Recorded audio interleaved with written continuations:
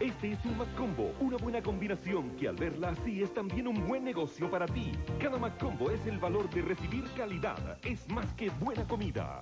Y ahora llegó el nuevo Mac Combo: dos hamburguesas con queso, unas papas y un refresco pequeño a un atractivo precio, con el sello de valor McDonald's.